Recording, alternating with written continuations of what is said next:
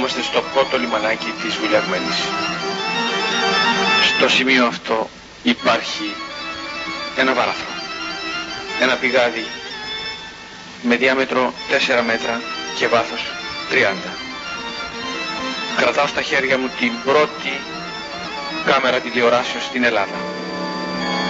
Είμαι ο φωτογράφος, κινηματογραφιστής και κάμεραμαν Αλέξης. Μαζί μου στην προσπάθεια αυτή θα είναι ο Δημήτρης, ο Δημήτρης Αγγελάκος.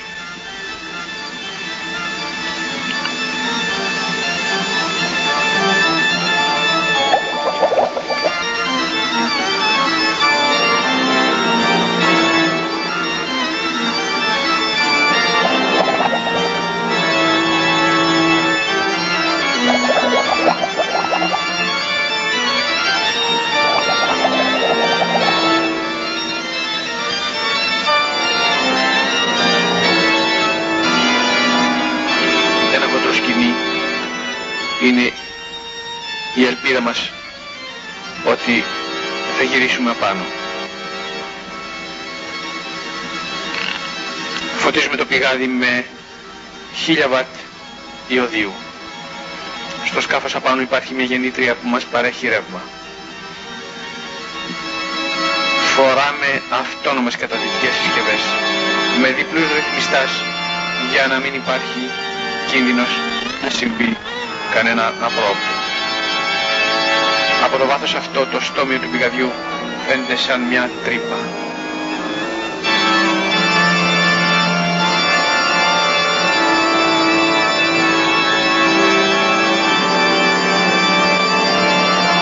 Στην καθοδό μας συναντάμε εκατομμύρια μικροοργανισμούς. Πέφτοντας απάνω στο φως κάνουν ένα χορό. Έναν περίεργο χορό το ρεύμα είναι πάρα πολύ ισχυρό. Σφίγγουμε στα χέρια μας το σκηνή που θα μας ξαναφέρει απάνω. Τα μάτια μου βλέπουν τα χρώματα. Τα χρώματα που κάθε χρόνο και χάνονται. Έχω 3.000 ώρες κάτω από τη θάλασσα. Έχω κάνει τα πιο πολλά slides τις πιο πολλές εικόνες από οποιονδήποτε Έλληνα φωτογράφο. Κάτω από το νερό έχω τις περισσότερες εικόνες. Γνωρίζω από τότε που ήταν ζωντανός. Κάθε φορά που κατεβαίνω στο πηγάδι νιώθω λύπη. Βλέπω ότι τα χρώματα χάνονται. Καλύπτονται με μια δηλητηριώδη ουσία που σβήνει τα πάντα βρισκόμαστε γύρω στα 20 μέτρα. Και όλο κατεβαίνουμε. Το βάθος είναι 30 μέτρα. Ακριβώς εκεί κάτω υπάρχουν δύο μεγάλες σπηλιές, δύο μεγάλες τρύπες. Η μία είναι ατελείωτη, όπου και υπάρχει το ρεύμα που τραβάει τα πάντα μέσα εκεί.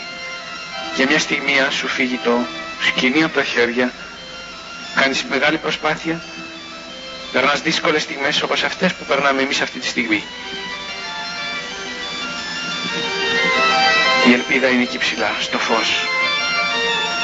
Αλλά απέχει ακριβώς 30 μέτρα. Πρέπει να κρατάμε σφιχτά το σκηνή. Προσπαθούμε να ανέβουμε.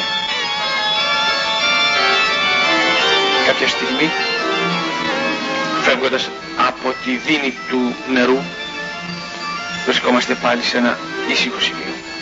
Συνεχίζω να πατάω τη σκανδάλη, να πατάω την κάμερα και να αποθανατίζω εικόνες που για πρώτη φορά αποτυπώνονται σε βίντεο. Ελάχιστα ψάρια, δείγμα ότι εδώ κάποτε κατοικούσαν. Ψάρια. Είμαι βέβαιος. Ο Σαρονικός σε πέντε χρόνια θα είναι αιστεία μολύνσεως. Σήμερα είναι νεκρός και κάθε μέρα πεθαίνει. Πεθαίνει. Πεθαίνει κάθε μέρα.